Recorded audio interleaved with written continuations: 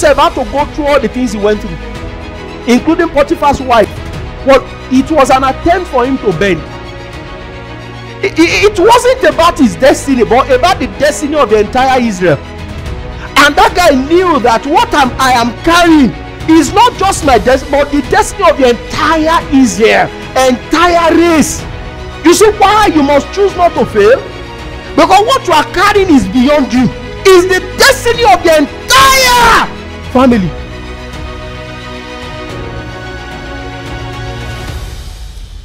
The Judah's goat. I think the theme is self-explanatory to some extent. Am I correct? So when we say the Judah's goats, some of us may have or must have had a glimpse or a picture of what we're about to talk about. But anyway, the Holy Spirit is going to be helping us this morning to navigate through His Word and to learn extensively from the birth of Jesus. Why is the birth of Jesus so important? I know there are some people in some quarters that said that we shouldn't celebrate the birth of Jesus. Mind you, we are not celebrating the birthday of Jesus. I've told you that. It is the birth of Jesus. Jesus was not born on the 25th of December. We are, we are marking the birth of Jesus. We are commiserating. Do you understand? Yes. It is but the fact that he was born is enough reason why we are celebrating him. Because if he was not born, he would not have died. Without his birth, there will be no redemption. You know, there are some folks that say, no, no, no, no, just celebrate the Easter. That Easter is the most important time, is the most important season because that was the time that he died, he was buried, and he resurrected. Am I correct? But the truth of the matter is that what? If he wasn't born in the first place, he would not have died. So redemption began, all right, from his birth.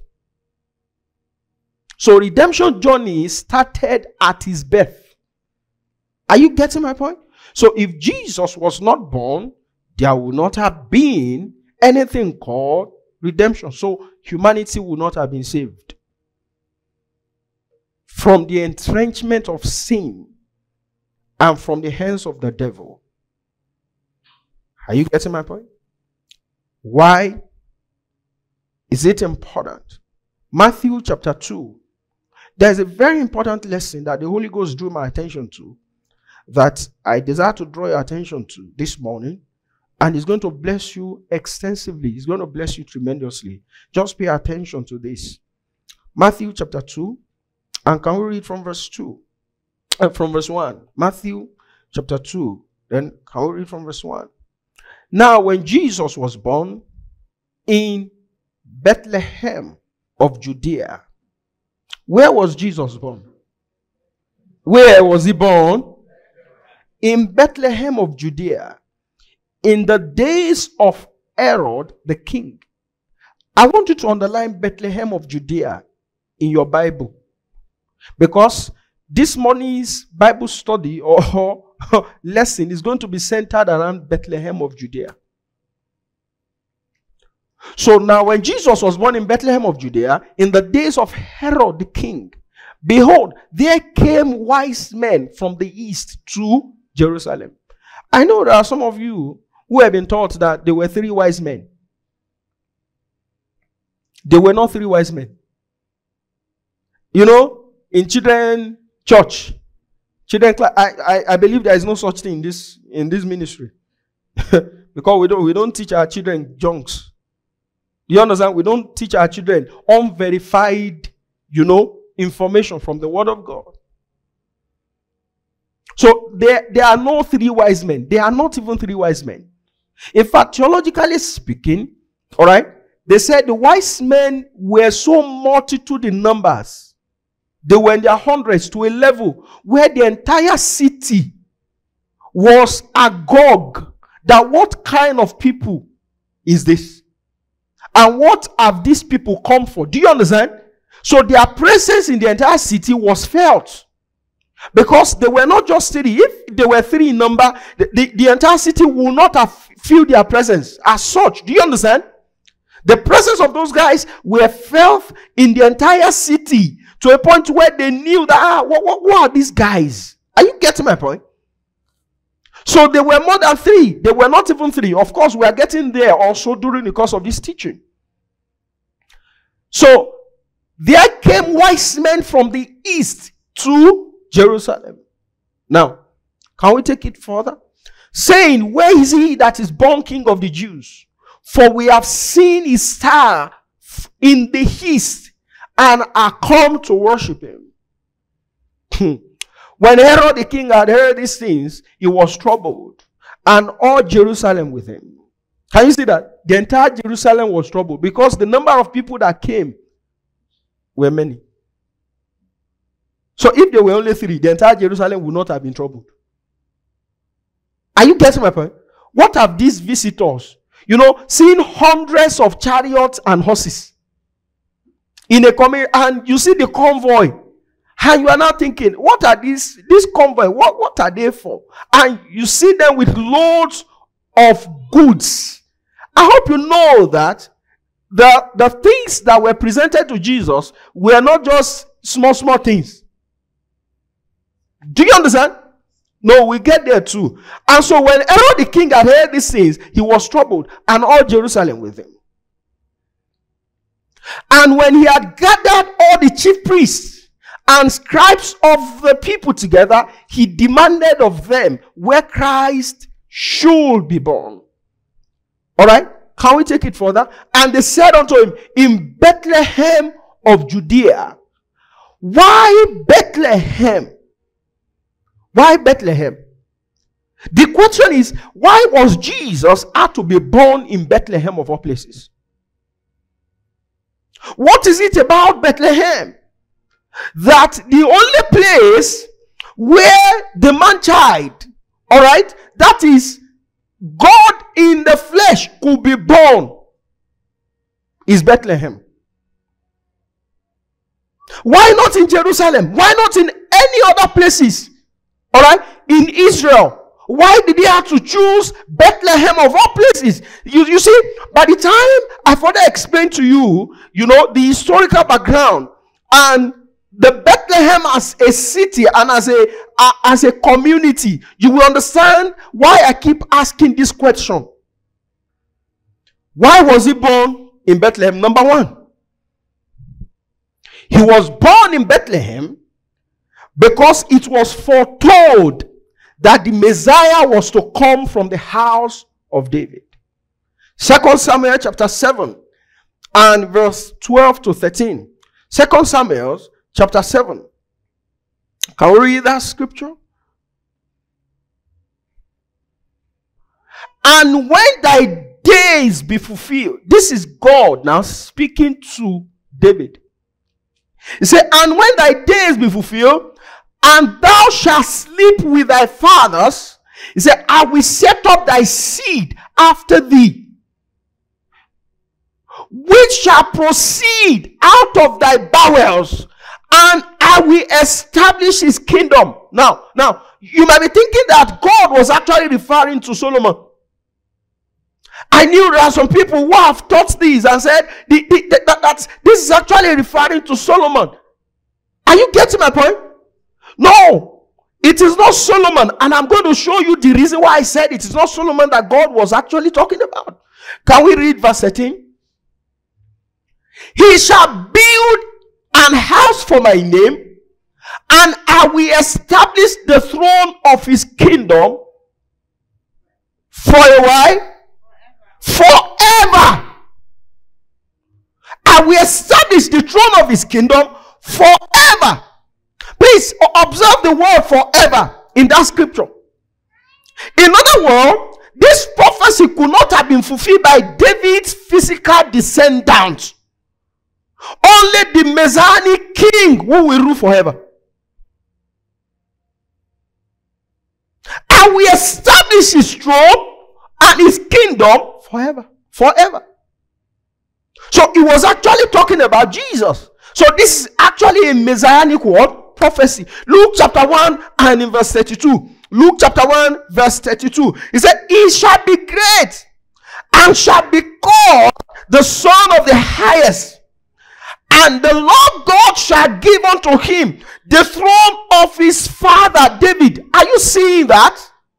That this father proved to us that what was highlighted, all right, in Second Samuel that we just read, chapter 7, is talking about Jesus.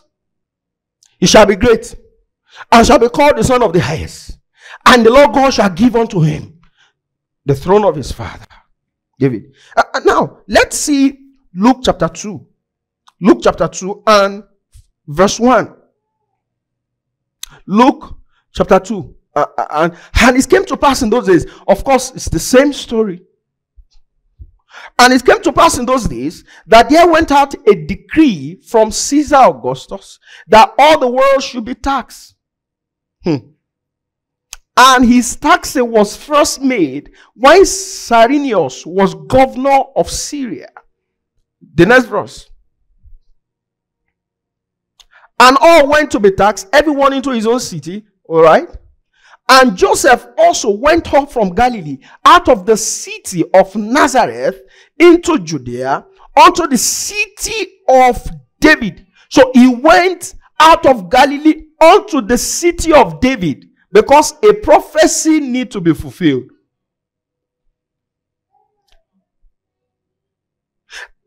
Unto into the city Judea, unto the city of David, which is called Bethlehem, because he was of the house and lineage of David. So he needed to move out of Galilee to Bethlehem because the time has come for a prophecy to be fulfilled. You see why some of us, the reason why you are in Abuja this season is because of prophecy.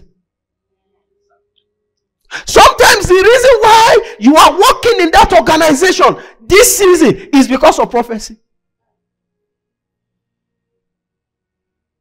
The reason why you are in Nigeria this season, are you getting my point? Is because of prophecy.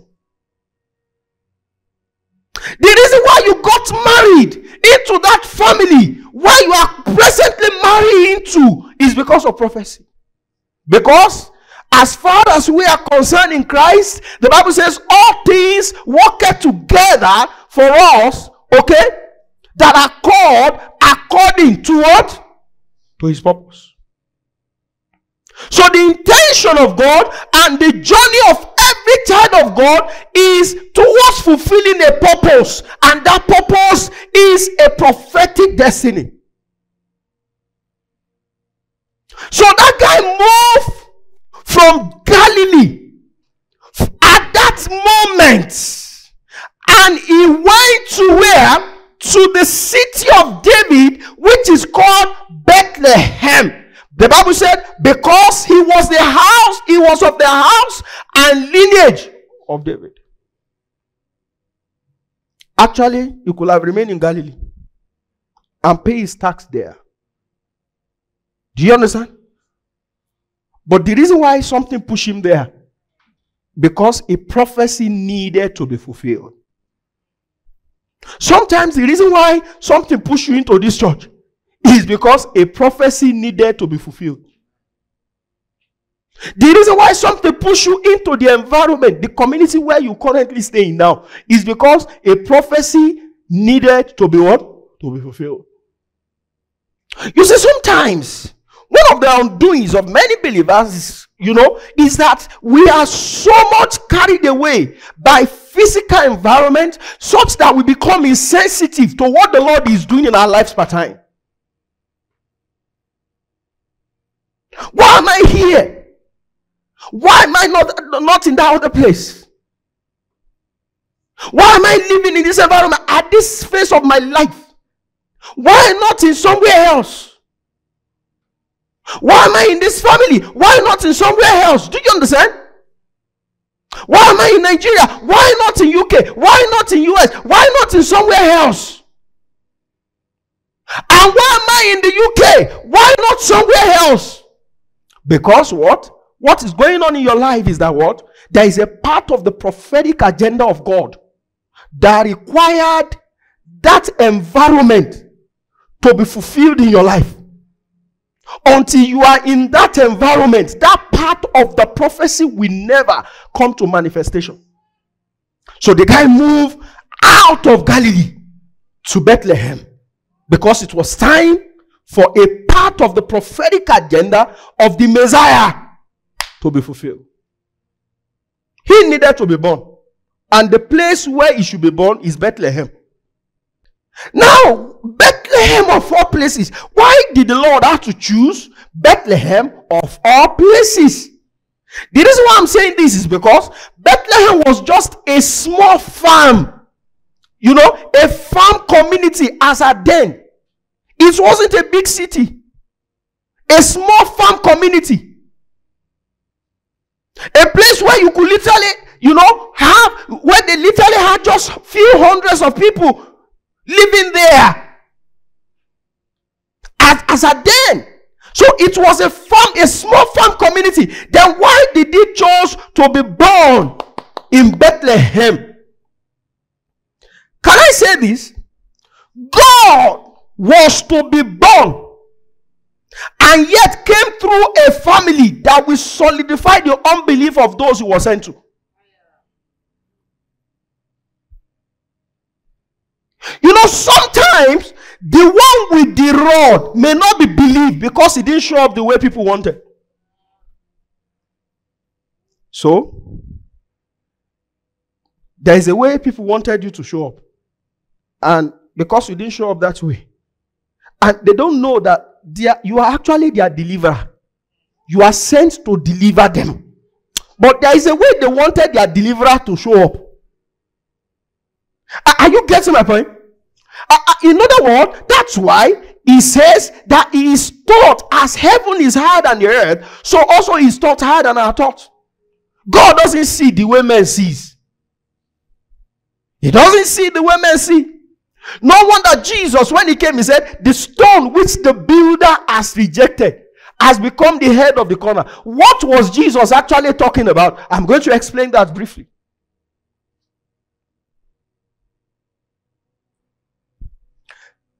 Now, have you ever wondered sometimes why were you born into that family of yours? Why this family of all families? Why am I in this family? There are others who came from a wealthy family. There are others who came from a battle free family. There are others who came, you know, who were born into a family where everything was already ready. And why this family? Since the day I was born, it has been from one level of battle to another, one level of battle to another. When I thought that I'm already that the battle is over, another one will show up. While I'm thinking I'm celebrating a victory, another battle shows up. While I'm still celebrating another victory, another battle shows up. Why, uh, you know, was I born into this family? I mean, have asked that question? Sometimes you wake up in the middle of the night and you start asking God, Lord, when will this battle be over? When will it end? Every day and night, I keep praying and keep praying and keep praying, and it's from one prayer to another, and, and, and the thing seems not to be ending. When will it end? Why was I born into a family where people die prematurely? Why was I born into a family where people don't rise? What is really going on? You know, there are times that as believers in Christ, you start asking yourself that question Why this house? Why this family? Why this place? Of all places. Can I say this? You see, every family has a prophetic destiny. Every family. When God was to call the children of Israel out of Egypt, He called them family by family. He didn't call them as individuals. They were called out by families. You know, in the book of Genesis, chapter 49, a certain man by name Jacob, was about to die because he was stricken in age. And he assembled his 12 sons. 12 sons, 12 is symbolic to government.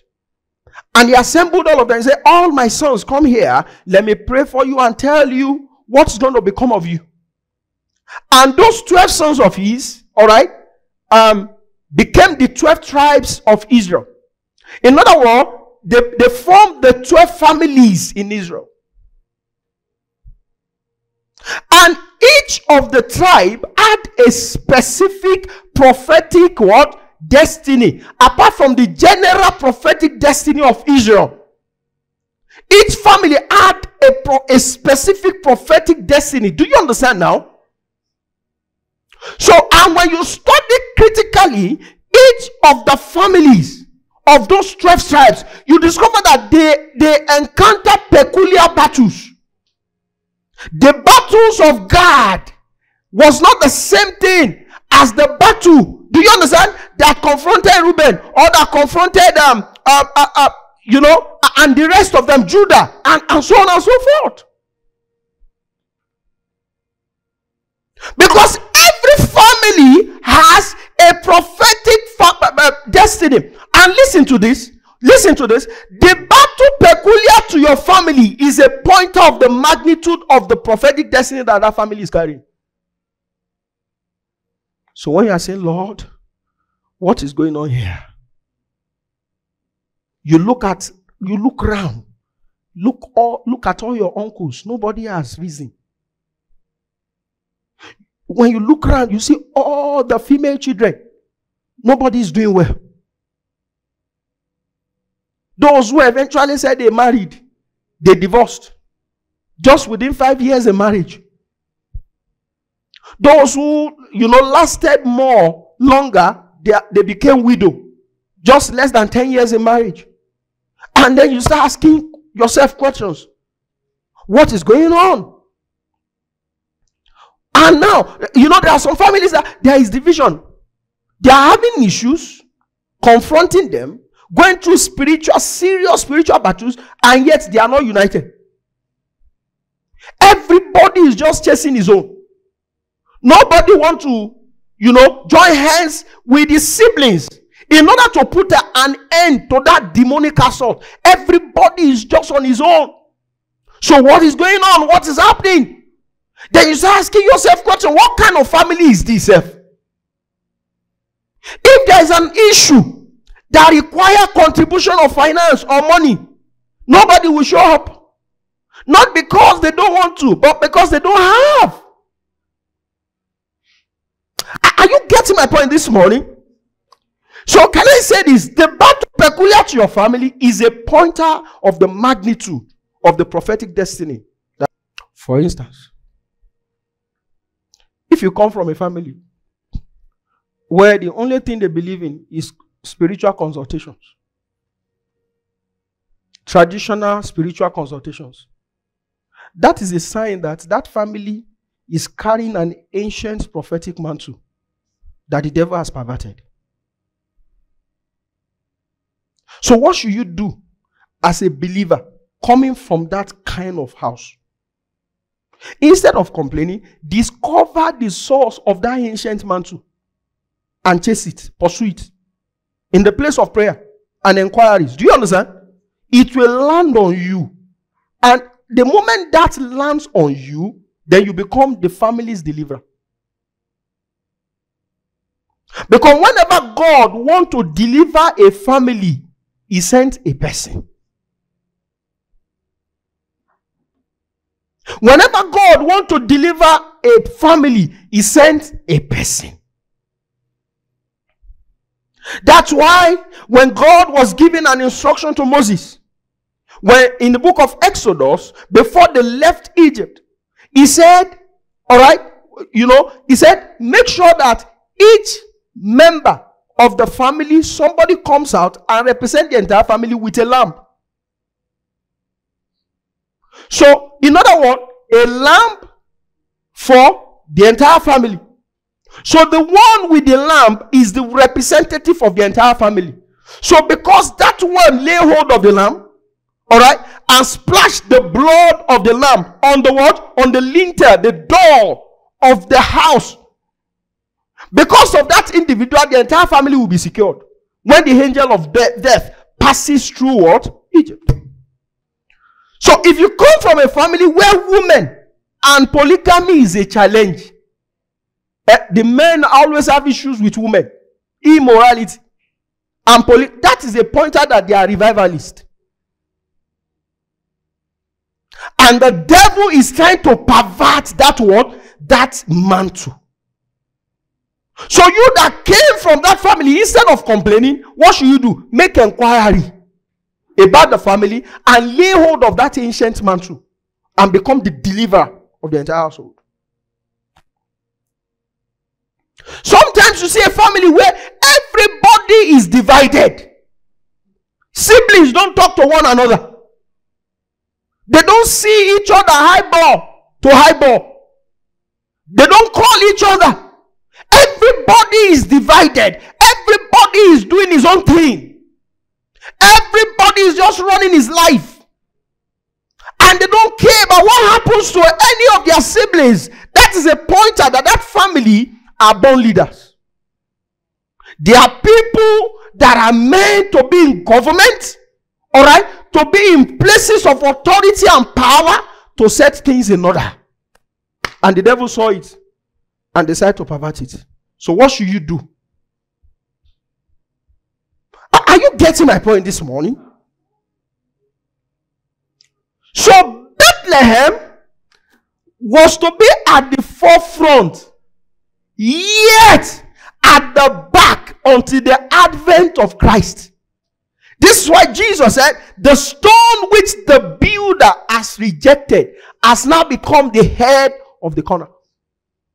What was the stone? Bethlehem. And God specializes in bringing men, all right, from the backside of life and showcasing them into their generation. We have plenty examples in the scripture. So God specializes in making the last the first. Do you understand? Raising a nobody to become a generational asset. This is why I often tell people don't ever write off any man. Don't. Because sometimes the rejected might be the deliverer. Do, do you understand? And if you don't treat him well now, when he's being rejected, on the day of his showing, you will be neglected. We have so many examples of men in the scripture. Saul is an example. Look at Saul. When Saul was looking for his father's donkey in First Samuel chapter 9, and you know what happened there? Okay, and eventually met the prophet of God. And the prophet of God told him that last night the angel of the, God, of the Lord appeared to me and told me that what? By this day, tomorrow, which is now, all right, the man who is going to be the king and the leader over Israel is going to meet me highball to highball. And what was Saul's response? In verse 21, Saul said, Am I not a Benjamite of the smallest of the tribes of Israel? And my family, the least of all the families of the tribe of Benjamin. So my family is not, if the Benjamites are the least, they are the smallest, they are the youngest among the tribes of Israel. And in, in, in the, you know, Kedar of that youngest and smallest family, my family is also at the back side. How come I'm now the one who has been chosen to lead God's people? Because God specializes in bringing men from the back side of life to the front.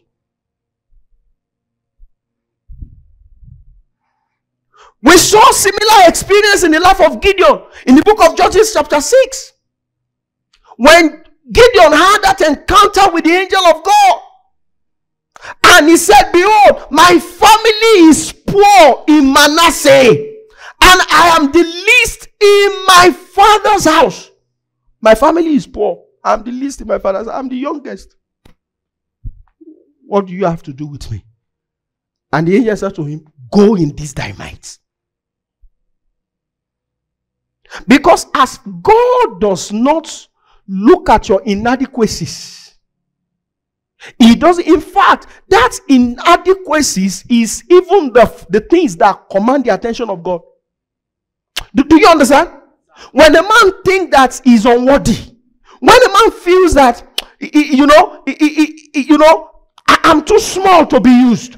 When, when a man is not thinking, he's not full of himself, and he, he is always, you know, he, he understands the messy dimension of God.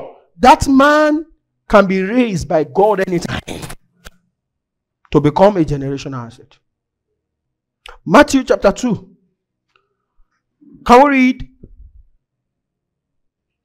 verse 2? Do we have the Passion Translation? The Passion Translation.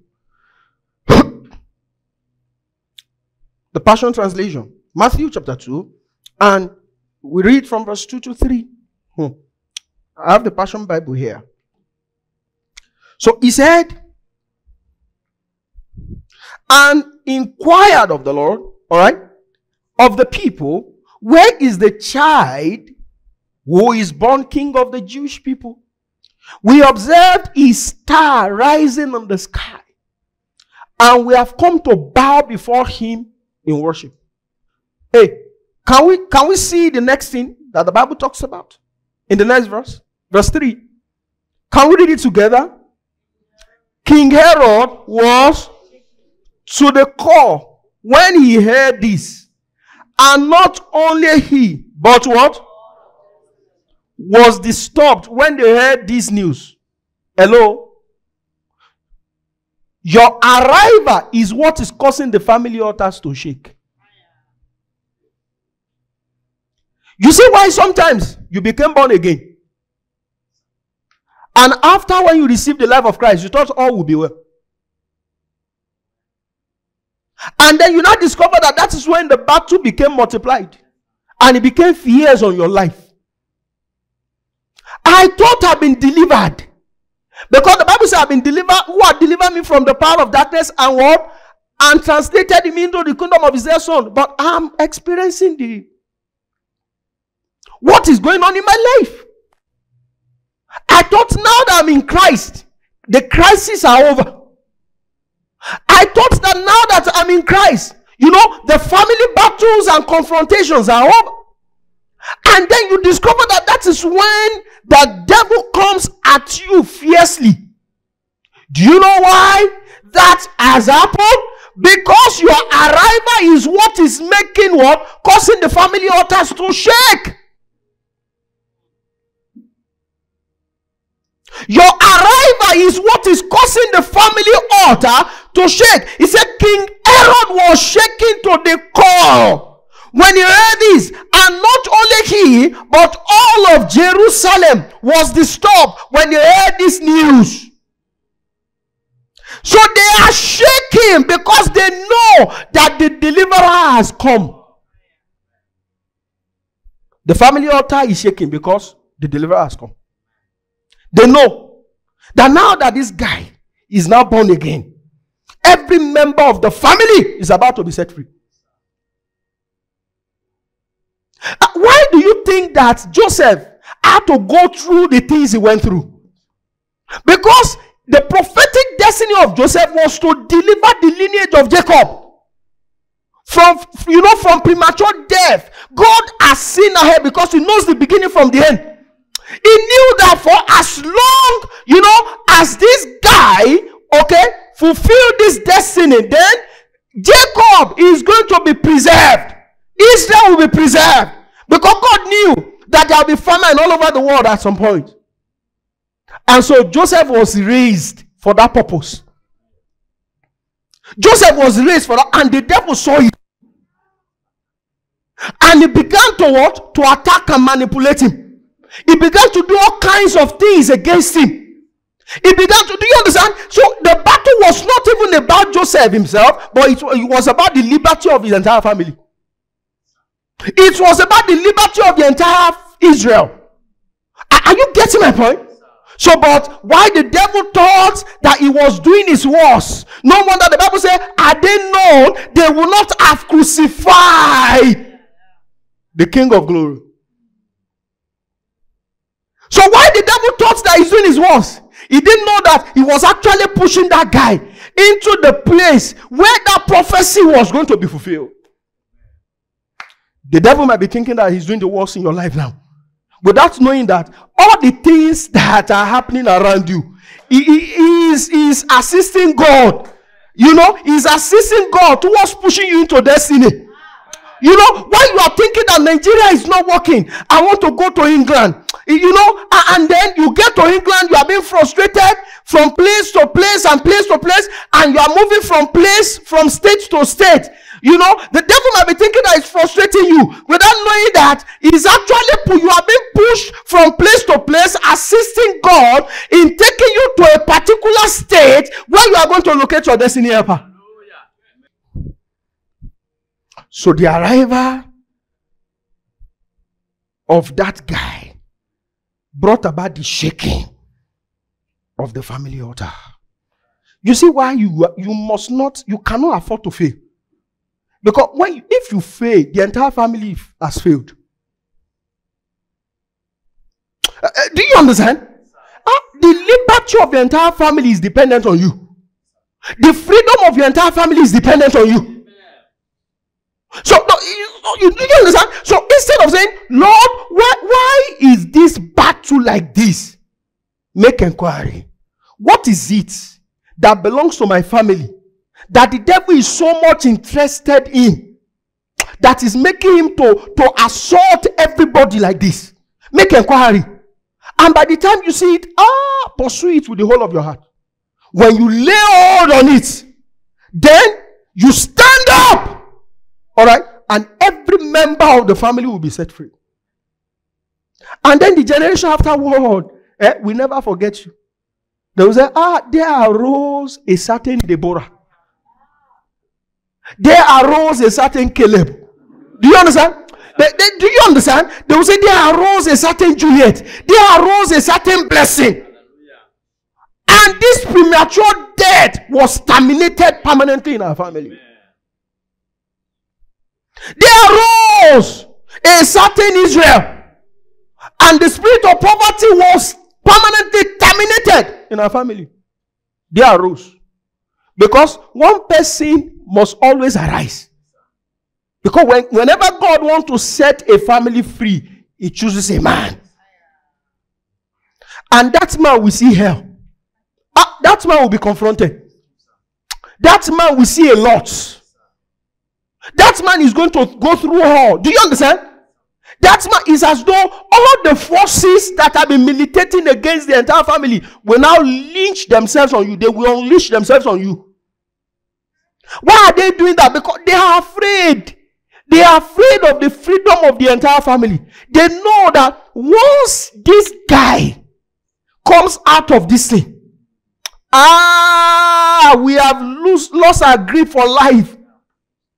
Are you getting my point? You see why you must never fail? You see why you must choose not to fail? I must be the one that will carry the shoulder. Know, I, I will I will present my shoulders and carry the responsibility of every member of my family. I have to be the one. I have to be every one of them must enjoy freedom on the platform of my freedom. So Jesus was born, and the Bible said, and Herod was shaking to the core when he heard this. Herod was shaken to the core. And not only he, but all of Jerusalem was disturbed when they heard this news. The gate of hell is shaking. That ancient family evil altar is shaking. Are you getting my point? Yes. The reason why the witches and the wizards in your family are shaking is because they know that a deliverer has been born. And they will unleash all the things that they had in their reserve. All the forces and powers and all, you know, the things that they had in their spiritual arsenal, they will unleash it against you. But why they do all of that? Haven't done all to stand. Stand. Stand. Stand. Stand. Because you are not fighting a, a, your battle. It's a battle of a lifetime you are fighting. Stand. Okay? Look at the power. Stand. Look at those forces. Stand. Look at those witches and wizards. Stand. Look at those metaphysical agents. Stand. So you wait. This division must come to an end in my own days. This premature death must come to an end in my own time. Do you understand? This spirit of polygamy must come to an end in my own time. These demonic spiritual consultations, do you understand? Has to come to an end in my own time. So no matter what, I won't join their camp. No, I will not bend. Do you understand? Eh, see, the, the reason why Joseph had to go through all the things he went through, including Potiphar's, Potiphar's wife, well, it was an attempt for him to bend. It, it, wasn't about his destiny, but about the destiny of the entire Israel. And that guy knew that what I'm, I am carrying is not just my destiny, but the destiny of the entire Israel, entire race. You see why you must choose not to fail? Because what you are carrying is beyond you. Is the destiny of the entire family.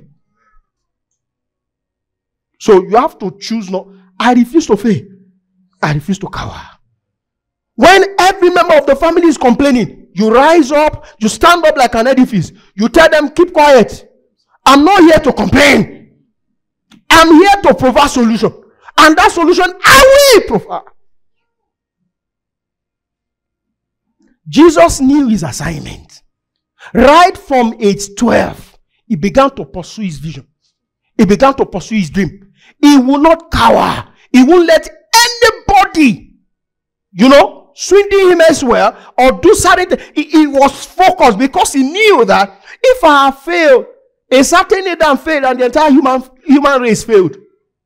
All right? And the second Adam, the last Adam, which is me, I have come to redeem mankind. So ends the battles. And he was aware. He was aware. You have to decide, I choose not to fail. Say this to yourself. Say, I choose not to fail. Oh, oh, you don't mean what you are saying. Say, I choose not to fail. No matter the battle. Say, I choose not to fail. No matter the battle. I choose not to fail.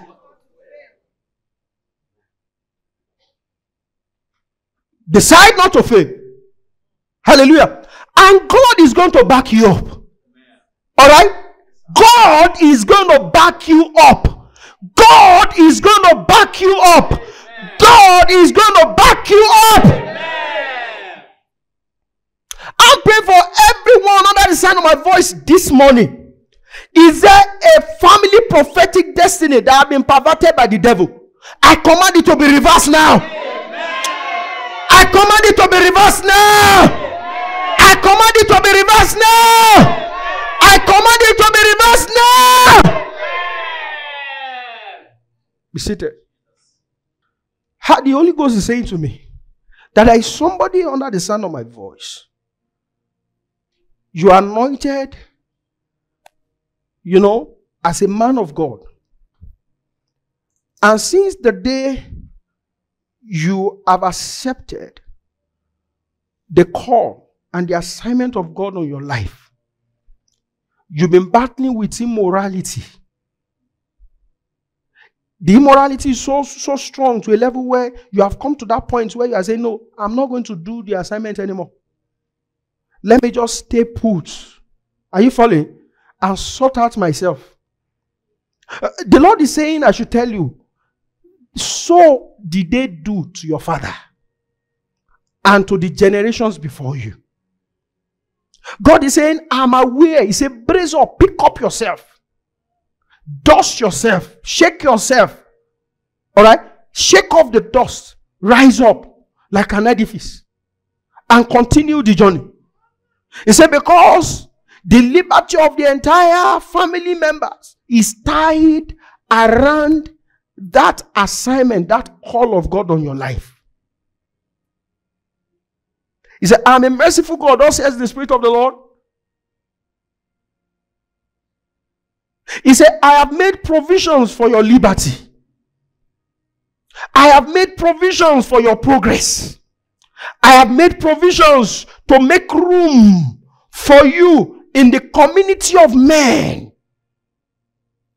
I have made provisions to make you a voice in the days to come. So these were the things that the devil has seen. He said, Rise up, pick up yourself, forge ahead. There is even a lady that is hearing me now. And, and you are looking at yourself. God called you even while you were very much younger.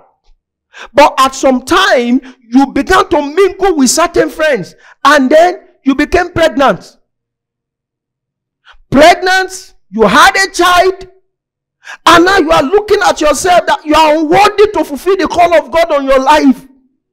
The Lord is saying, You are not the one to determine who is worthy. He said, I, I do not call the qualified, I call I qualify the unqualified. He said, I have chosen you among your peers and among your mother's children. He said, right from your mother's womb, he said, He has anointed you. He said, Rise up, shake up yourself, and move ahead. He said, He has shown you mercy, but you've got to forgive yourself. Because God said His intention for your life has not changed. His plan for your life has not changed. His purpose for your life has not changed. Stop looking down on yourself. Pick up yourself. Pick up yourself and begin the journey.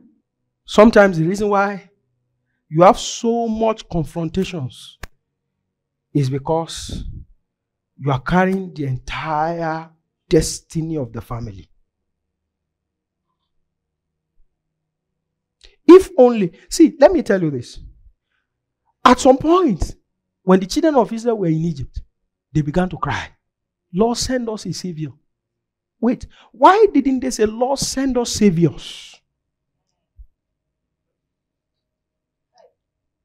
Because whenever God wants to carry out his deliverance purposes, he uses a man. He just raises a man. He doesn't use multitude, just one man. They, they, they didn't say, Lord, send us saviors. They said, Lord, send us a man. A man is enough. And then a certain Moses was tending his father's what? His father in law's um, sheep. And God said, That guy is worthy. And he brought him out. Moses had so many challenges. The devil knew that God will use his voice to deliver Israel. So what he did was to shut that voice and made him to become a stammerer. He knew. And God said, irrespective of what the devil has done to you, I will use you that way. Irrespective. I am going to use you that way. Irrespective of what the devil has done to you, I will use you that way. As far as God is concerned, the deeds of the devil is inconsequential for the fulfillment of his purpose in the life of his children. So, regardless of what the devil you might be thinking that the devil is doing in your life now, just brace up. Know that what, regardless of what the devil is doing in my life, I am still usable. I'm still the one that is going to use to put a stop to this thing. I'm the one that God has set aside to put an end to this harassment. I'm the one that the Lord has set aside to put an end to this embarrassment. You, you know why? You know, it pains you whenever you remember. And it's not that paining your other siblings because you are the deliverer. You are the one that has been set aside. No wonder when that guy saw the Egyptian hitting the Israelites, what did he do? He ran towards the guy, grabbed the guy, pushed him to one corner, and killed him. What happened to other Israelites? Why didn't they do the same? Why were they looking at their brethren being beaten and battered by the Egyptian? The reason why the burden came was because he's the one with the anointing. The reason why you have the burden over the entire members of the family is because you are the one with the anointing. The reason why you have the burden concerning the marriage of all your siblings is because you are the one with the anointing. The reason why you are you have the burden, do you understand? Concerning your siblings is because you are the one with the anointing. The reason why you have the burden concerning your entire family is because you are the one with the anointing. So, stand up like an edifice and say, No, this family is dependent on me. It is on my strength they will enjoy freedom. So I cannot fail them. When people are saying, let's go to herbalist, you say, for where? Herbalist? The generations before me visited herbalist. And the devil compounded their woes. The generations before me went to, from they visited, they went from place to place. Do you understand? And the devil compounded their woes. I won't do that. I'm going to remain with the Lord of hosts. Because I know that regardless of what the devil is doing, he's still going to use me that way. And I'm praying for somebody under the sound of my voice this morning.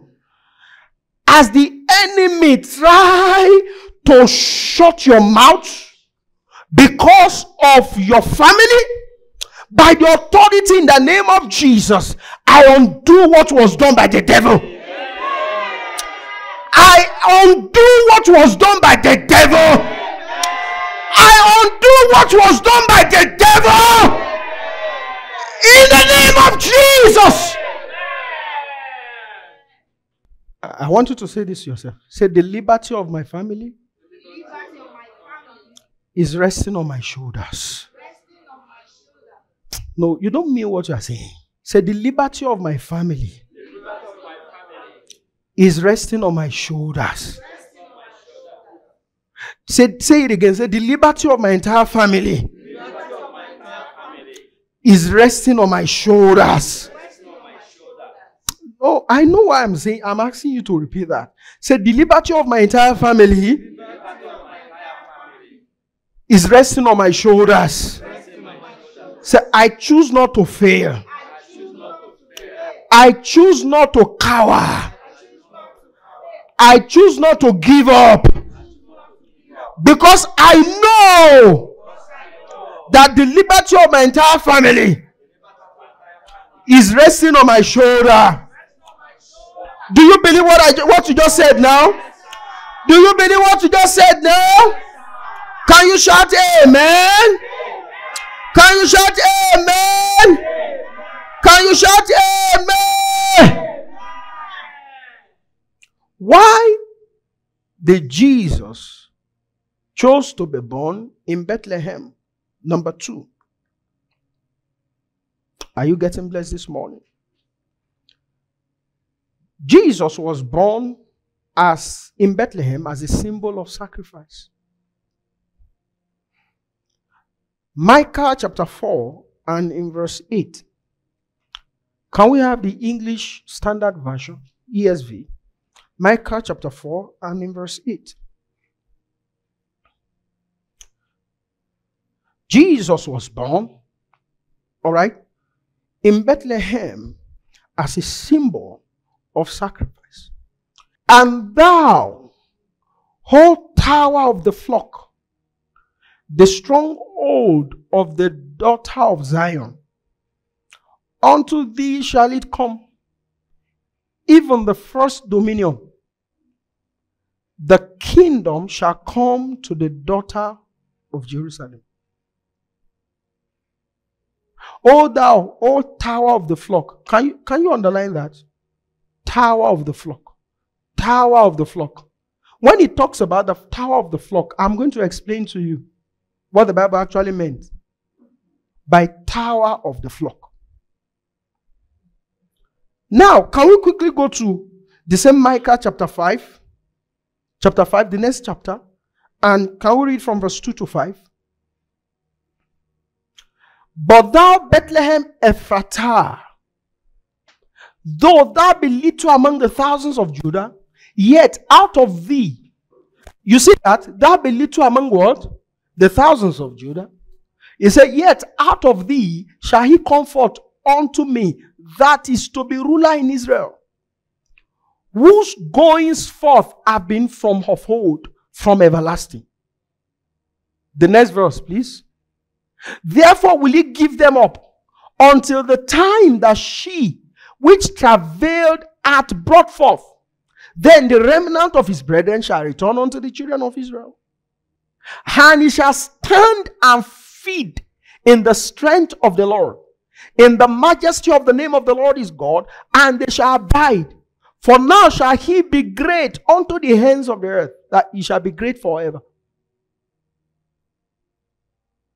And this man shall be the peace.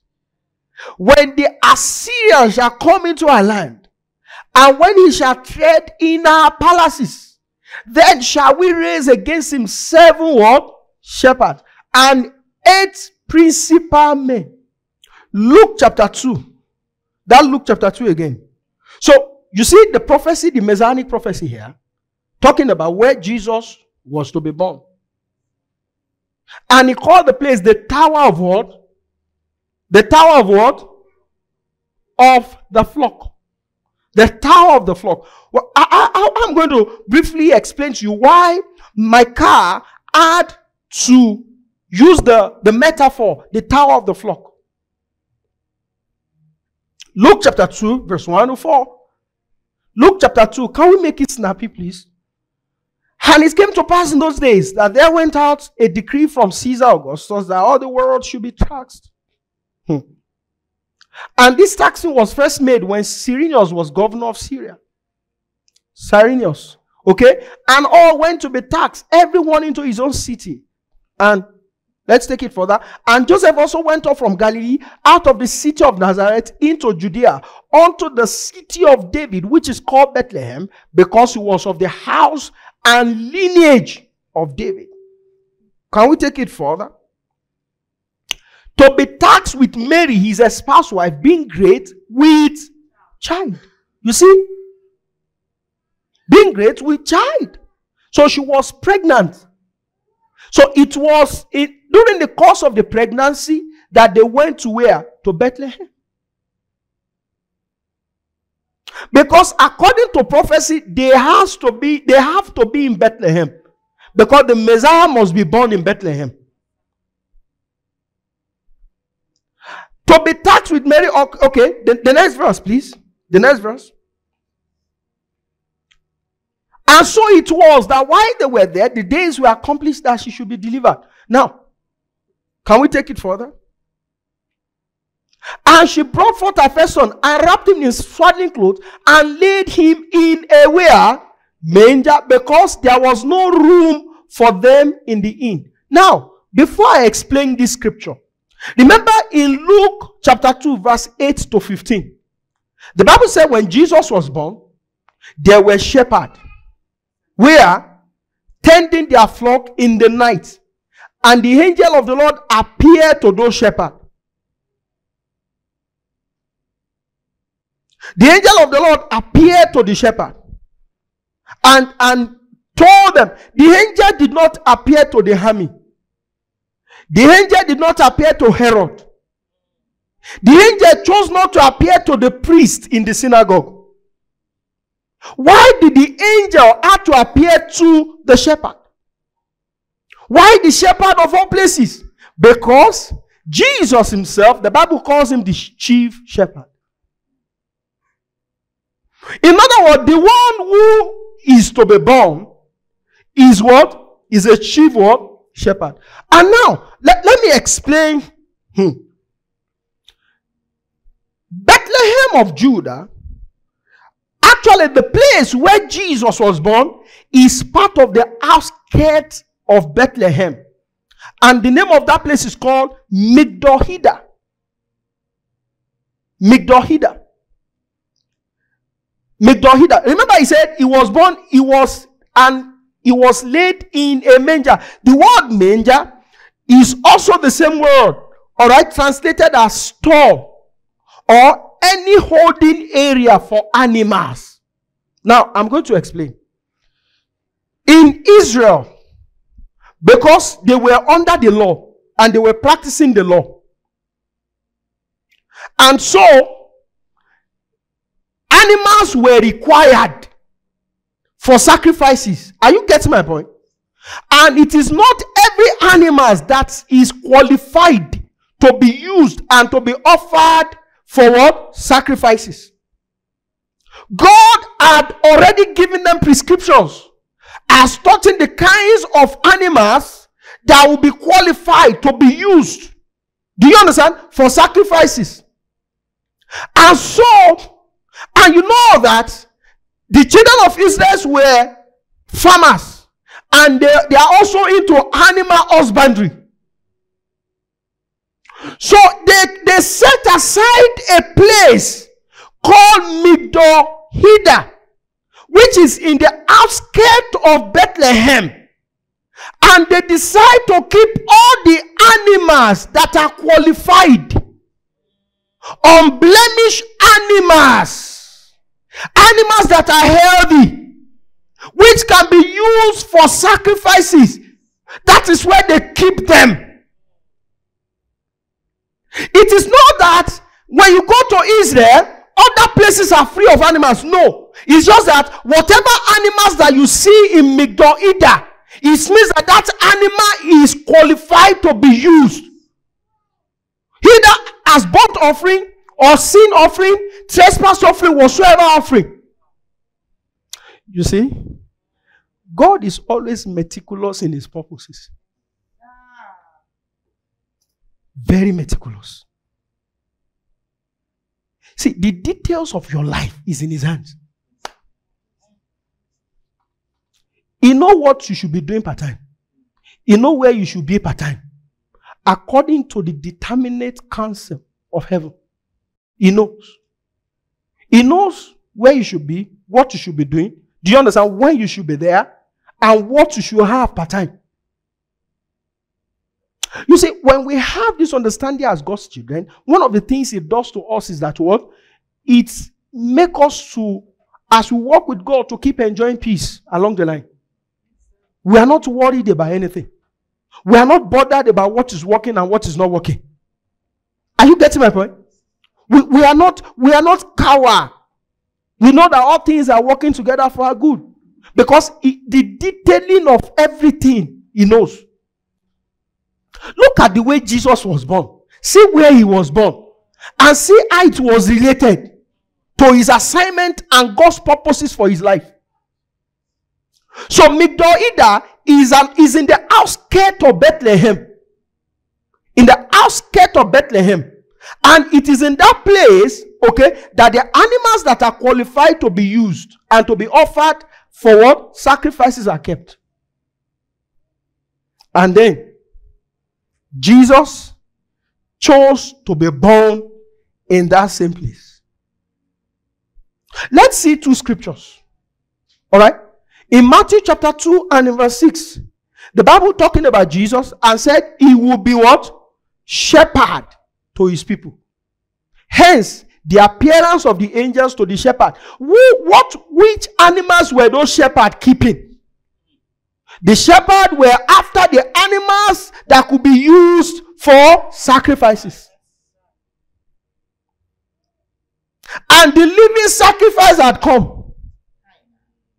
Are you following now? And the angels went to the shepherd and said, The chief shepherd has come.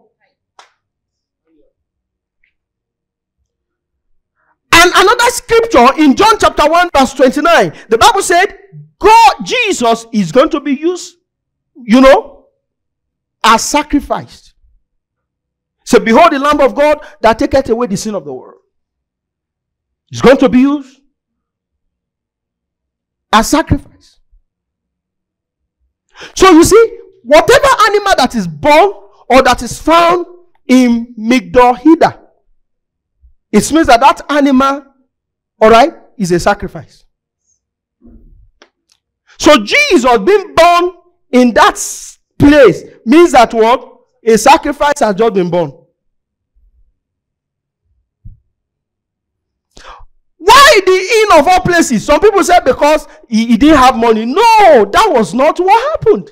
It wasn't because, because the family, the, Joseph and Mary came to pay tax. If they did not have money, where would they have had money to pay tax? Which means they have been working and they've been making profit. Because you pay tax as a product of the proceed of the profits that you have what? That you have made from certain transactions, business transactions. Am I correct? So, which means those guys have been doing businesses and they've been making money. And so they decide to go to Bethlehem to also pay tax. So the challenge was not the fact that they couldn't afford a hospital. The challenge was the fact that what? A prophecy has to be fulfilled. So he chose to be born in the store or inside the, where they keep other sacrifices. Telling them that what? The chief sacrifice is here. Ah! the chief sacrifice is here. The chief sacrifice is here. Friends, there's a prophecy over your life. There is a prophecy over your life. Refuse to die prematurely. There is a prophecy over your life. Refuse to end up like your father. There is a prophecy over your life. Refuse to be conquered by the battle that conquer your mother. There is a prophecy over your life.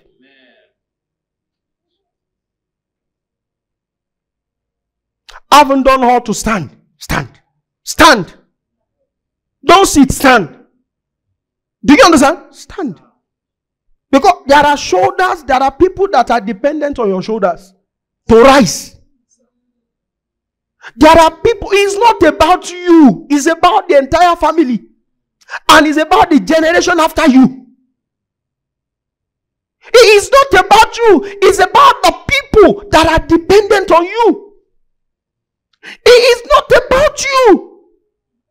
So sometimes when you are weak and you, you don't feel like praying, the reason why you will wake up and pray, even when your body is weak, is because you know that there is a generation I'm carrying. Their liberty, their freedom is hanging around my shoulder. So I can't, I can't afford to sleep anyhow. When Jesus, at age 12, they took him to the synagogue, right? And for three days, the parents were looking for him. What, what did he say to the mother? He said, Woman, why are you looking for me? Don't you know that I must be about my father's business? Because he knew his, his assignment. A 12 year old boy. That ah, it is on the strength of this redemption that the entire human race will be set free. I must be about my father's business. A man who is carrying prophecy, he doesn't sit where others are sitting. He doesn't think like a nominal man. His thought pattern is different. His approach to life is different. His attitude to things different. His attitude to his reaction to things different. When something happened in the family and others are say, "Oh, now so the thing they happen every year," you will rise up and say, "No, what what the rubbish is that? It's ending with me. It must not continue with me." I mean, I, I want, you know, to get to that point where generations after me, they will look at me and say, Ah, thank you, dad. Thank you, grandpa. Thank you, great grandpa. Because what we are enjoying now is as a result of the battle that you fought on our behalf. I mean, you stand up and your siblings will be thanking God on your behalf. That if not for this sister of mine, all of us would have been in mess on your life. Why am I alive? I'm alive to fulfill prophecy. Why am I? You see why you, you must make sure you do everything within capacity to, to keep living. Do you understand? You won't eat anyhow. You won't go to any place anyhow. You will not use your body anyhow. Because you know that, no, no, no, no. There are people dependent on me. It is on the strength of my liberty that they will gain liberty. There is a prophecy. A prophecy. A prophecy. A prophecy. Somebody say prophecy. Say somebody say prophecy. Say this I'm a child of prophecy. I cannot end up this way. Are you ready to pray this morning? You look at some of the things that have been going wrong in your life, and then you talk to, to it. All right? God said, I should tell you, man, that the battle is over. Do you understand, man? Come be on our feet this morning. You look at some of the things that have been going on. And you say, Lord, I can't end up like this. Because I'm aware that I carry prophecy. I'm a child of prophecy. I cannot end up this way. I'm a child of prophecy. I can't die prematurely. I'm a child of prophecy. Yes, I cannot be messed up. My life, my destiny cannot be messed up. No matter, regardless of whose life is being messed up in the family where you came from. Now it's time for you to pray and declare your freedom, declare your liberty, declare certain things. Are you getting my point? Declare, declare, declare, declare, declare.